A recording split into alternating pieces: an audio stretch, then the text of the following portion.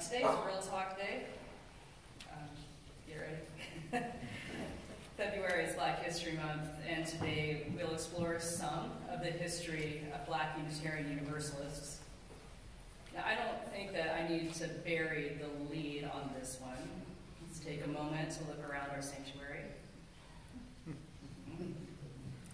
Our congregation is reflective of the majority of Unitarian Universalist congregations. We are overwhelmingly white. We have some racial diversity, but on the whole, our demographics are very limited. And yet, we believe ourselves to be a people committed to racial justice. We long to be multicultural as an institution and as a congregation but the evidence of the disconnect between who we want to be and who we are is readily apparent. And it pains us. The reasons why Unitarian Universalism in this congregation are so white does not fit into a sermon. Race is a complex and emotionally fraught subject. So in order to make this manageable today, we are going to focus on a few specific points in our association's history.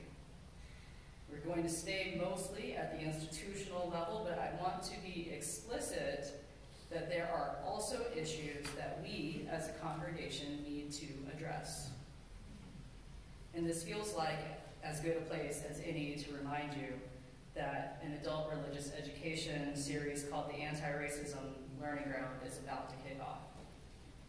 We have a couple of spots left if you're interested in joining. We'll begin our bird's eye view of race relations and our association with a very quick summary of the cases of William Jackson, who was alluded to in our second to Joseph Jordan. Please know that Jordan's name is spelled like Jordan, but it is pronounced Jordan. And this piece of information, and indeed most of the historical knowledge that we have about black participation in Unitarianism, Universalism, and Unitarian Universalism, is owed to the Reverend Dr. Mark Morrison Reed.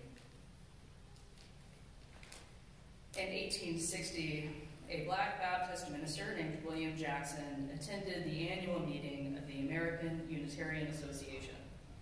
Jackson was somewhat well known in black circles because he had led a successful jailbreak of a runaway slave that had been imprisoned in Philadelphia under the Fugitive Slave Law.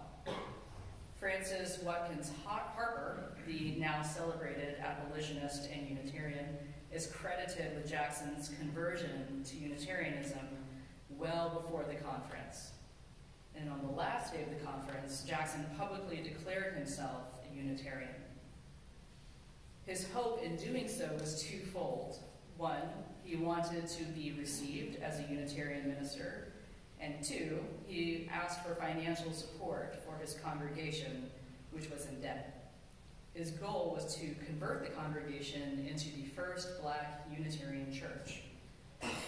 During the conference, there had been much discussion of how to expand Unitarianism beyond the New England elite. There had also been several impassioned sermons chastising Unitarians for their lukewarm response to the abolition movement.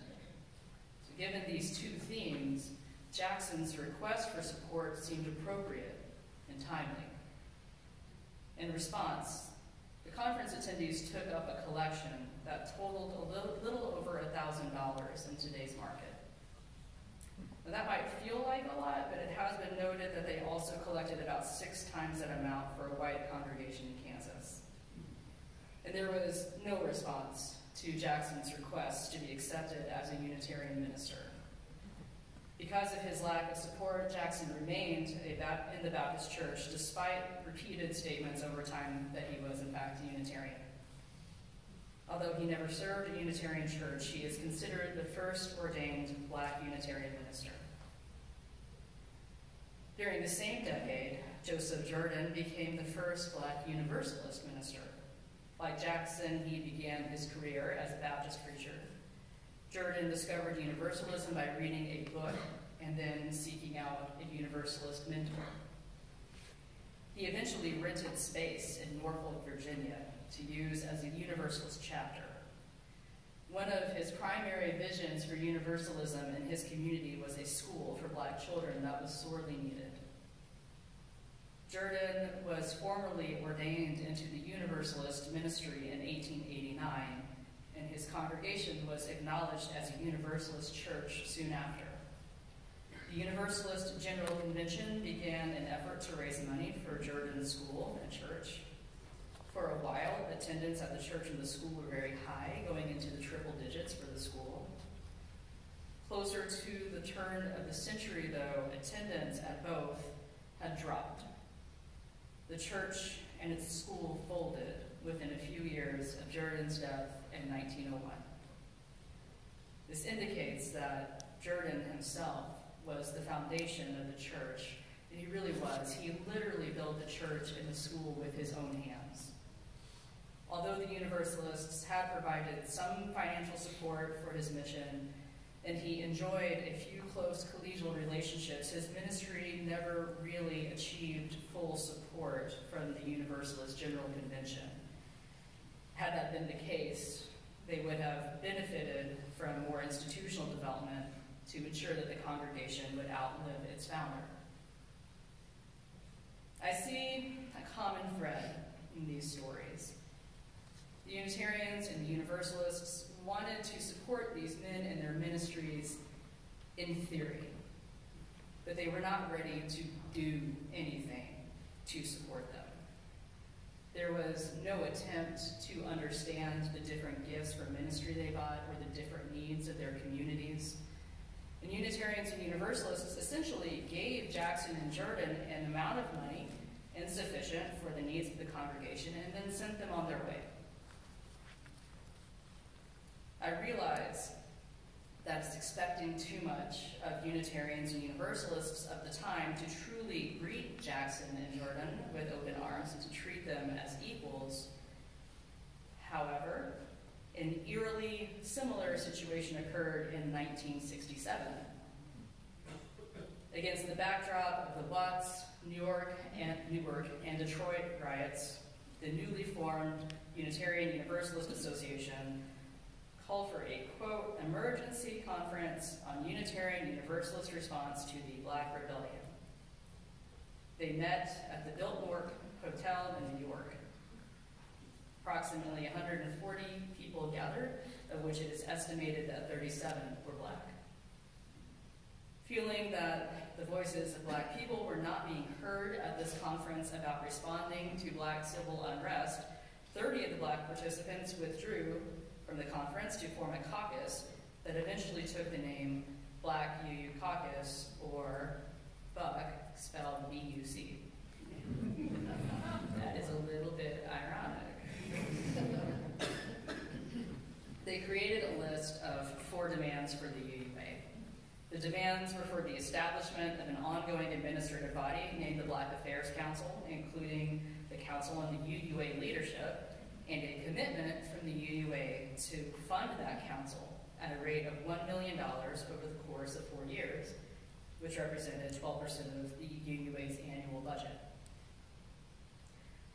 Now, a whole lot of things happened.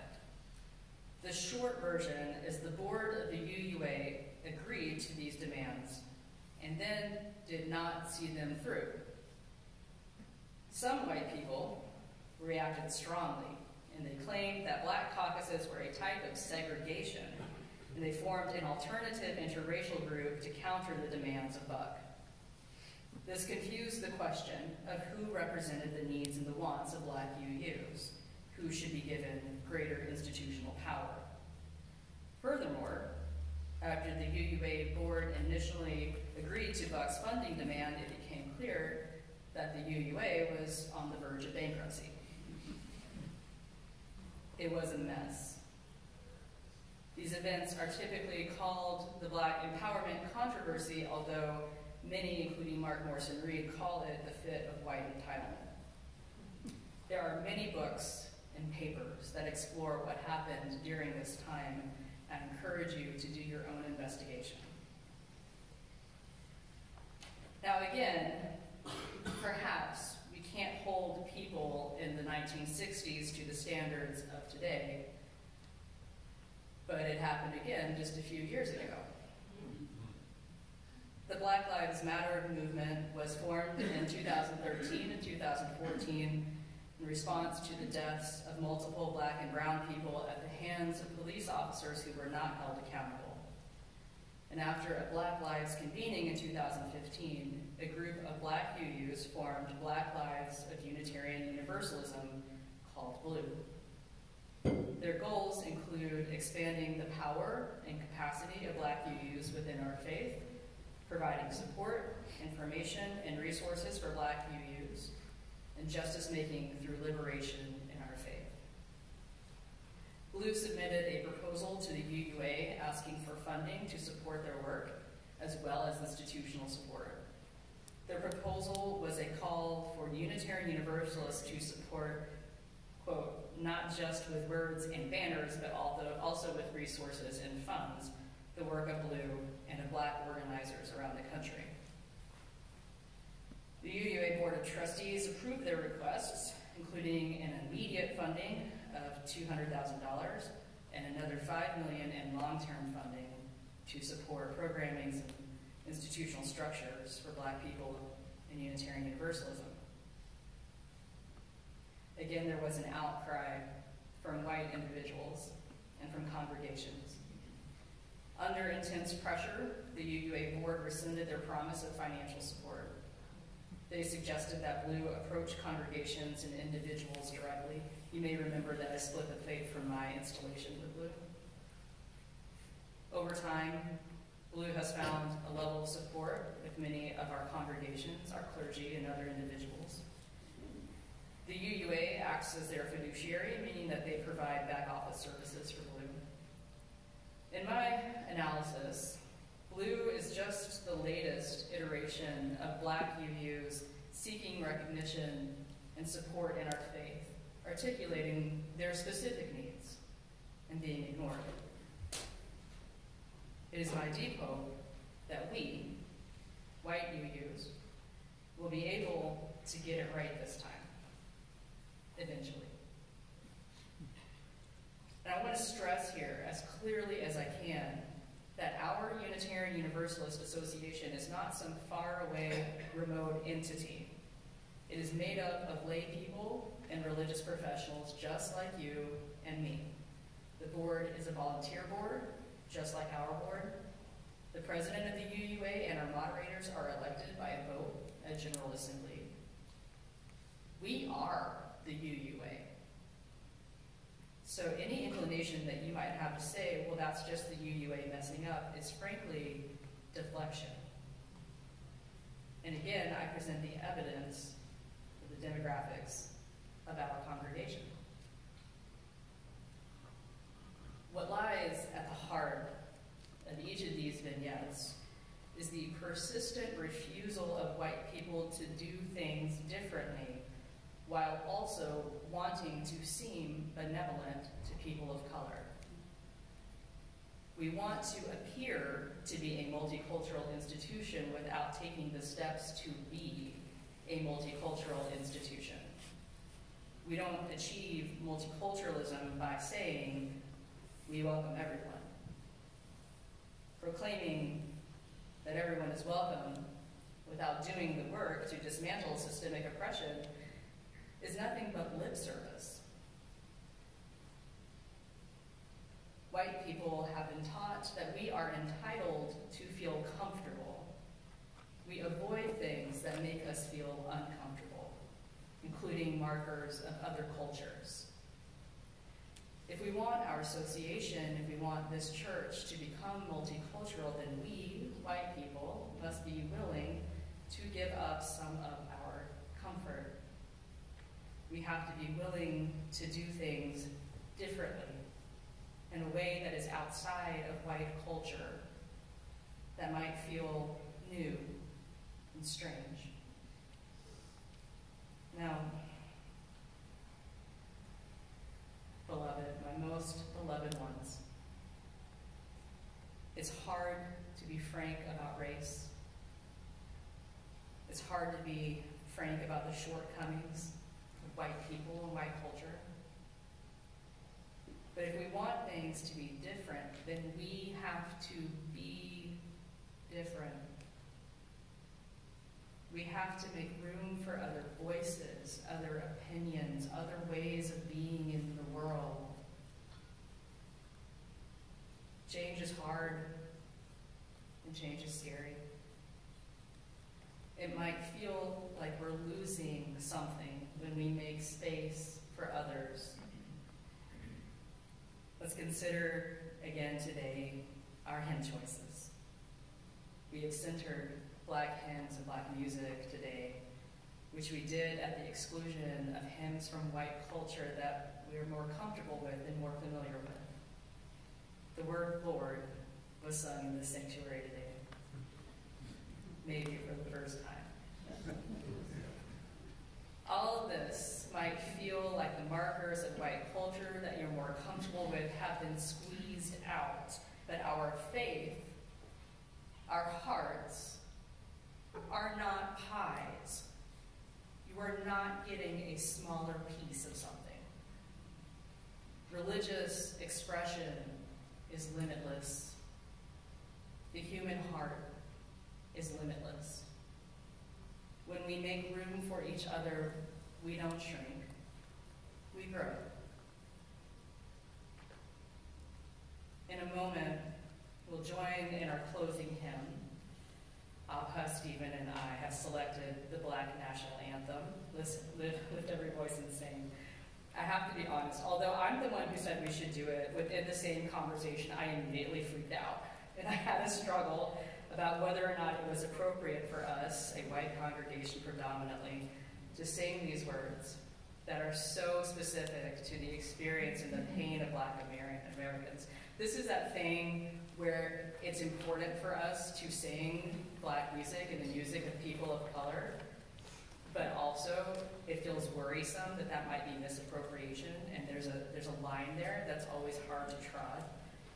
So, in talking with trusted colleagues about it, my dear friend, the Reverend Aisha Nsana, pointed me to a reflection that she wrote. Reverend Aisha is a black UU minister, and she wrote this introduction as a way of orienting her mostly white congregation to the song. Here are her words, slightly adapted with her permission. This is a very, very powerful song, but it is often sung without context, and at times it's sung without a lot of intentionality. When you sing, lift every voice and sing, do you pay close attention to the words?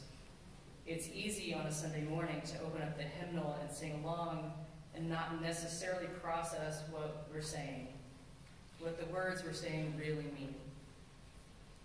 Sing a song full of the faith that the dark past has taught us. Bitter the chastening rod felt in the days when hope unborn had died. We have come over a way that with tears has been watered. We have come treading our path through the blood of the slaughtered. This song deserves to be sung with attention. It is a song that starkly names the horrors and the violence of racism in this country and it is a song that should make each of us uncomfortable. Uncomfortable with the history that it calls upon, uncomfortable with the fact that the struggle for racial justice continues and has not come quite so far as it should have. How can anyone sing the words treading our path through the blood of the slaughtered without deep discomfort? So when we sing this song, Will you join me in singing with intentionality? Will you join me in the deep discomfort that a black person might feel singing these words? Discomfort with the pain and the horror that these words refer back to, discomfort with the fact that those words do not only refer to a distant history, but also to what is happening now. Will you commit to sitting with your own discomfort and then will you tap into that discomfort and do something? Will you lift your voice and sing until earth and heaven ring with harmony and liberty? Is in that spirit that invites you to rise as you're willing and able to sing with deep respect the Black National Anthem.